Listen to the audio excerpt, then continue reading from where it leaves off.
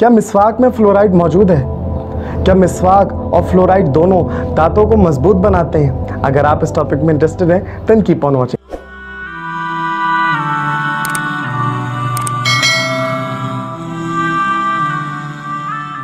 Bismillahirrahmanirrahim. Assalamu alaikum you all and peace upon humanity. This is me, Dr. Mujim Sheikh and I welcome you all to my channel.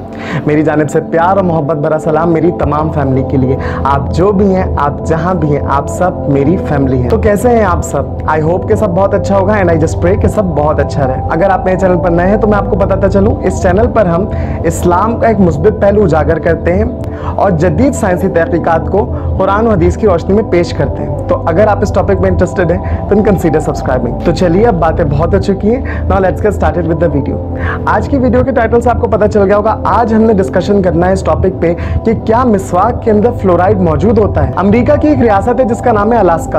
Alaska के capital Juneau में एक research की गई। Research में हुआ ये कि ज्यूनो की जो वाटर सप्लाई थी, उसमें से फ्लोराइड को हटा दिया गया। जब फ्लोराइड को ज्यूनो की वाटर सप्लाई से हटा दिया गया तो साइंसदानों ने ये बात अखज की कि उस दौरान ज़्यादातर लोगों में दांतों के अमराज बढ़ गए। और खसूसी तौर पर एक जो चीज़ वाजे नज़र आई वो ये थी कि जो दांतों का इनामल होता है, जो दांतों के ऊपर ये सफ़ेद हिस्सा होता है, सख्त पार्ट होता है, इसमें गलने सड़ने के आसार नमूदार होने लगे। तो इस रिसर्च से साइंसदानों को पता चला कि फ्लोराइड जो है वो दांतों को मज़बूत बनाता है। इसके बाद एक रिसर्च पेपर है, जिसका नाम है evaluation of middle eastern toothbrush Salvadora persica इस रिसर्च पेपर में मिसवाक की केमिकल कॉम्पोजिशन पे बात की गई है। मिसवाक का बायोलॉजिकल नाम सेल्वाडोरा पर्सिका होता है।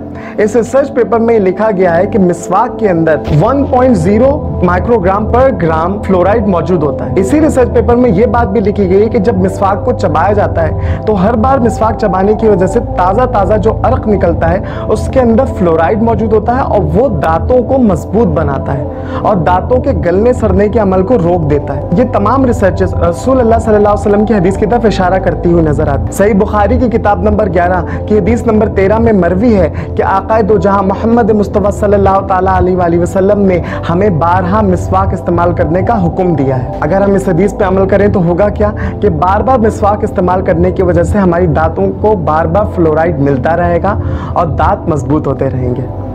इसी के साथ इस वीडियो का अख्ताम करते हैं। अगर आपको मेरी ये वीडियो अच्छी लगी है तो इसे लाइक कीजिएगा, इसे शेयर कीजिएगा कमेंट सेक्शन में अपनी आराज से आगाह कीजिएगा। मेरे चैनल को भी सब्सक्राइब करें और बेल आइकन को भी प्रेस करें। और जाते जाते एक छोटी सी बात आपको याद दिलाता चलूँ। ज़िंदगी में कितनी ही मुश्किल क्यों ना हो, कितने ही मसाइल क्यों ना हो। अल्लाह रब्बुल इज़्ज़त पर तवक्कल करते रहिए और मुस्कुराते रहिए। सुन्नत भी है और सदका जारिया भी। And guess what you look good too और जाते जाते एक बात और याद दिलाता चलूँ। अपनी इसी मुस्कुराहट को और खूबसूरत बनाने के लिए मिसवाक का इस्तेमाल करते रहिए। This is me doctor Mujim signing off Aslam you all and peace upon humanity